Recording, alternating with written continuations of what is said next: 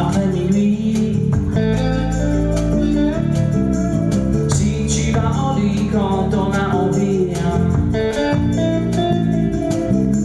si tu vas en bar et tu rentres tard,